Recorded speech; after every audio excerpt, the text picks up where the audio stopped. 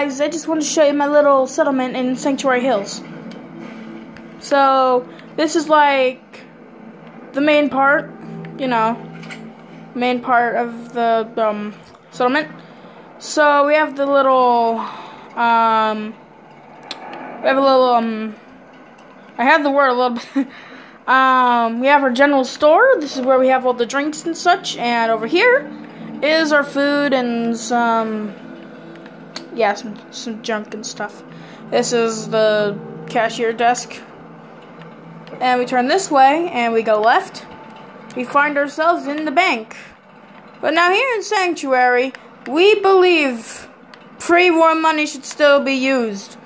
And so every two every two caps is worth one pre-war dollar.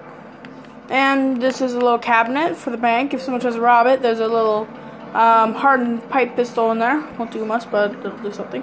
Codsworth, get out of the way, buddy. And this is our little inn. Not really much in the way of an inn.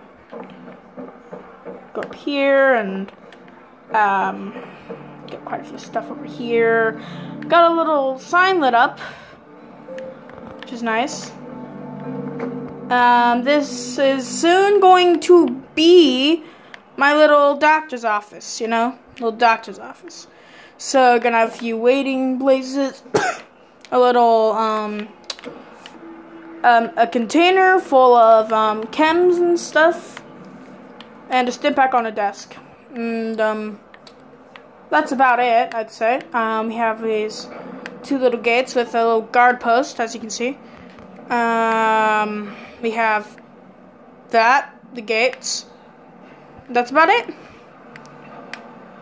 This is me and my cool character signing off saying settlements and sanctuary. Codsworth, stop being a weirdo.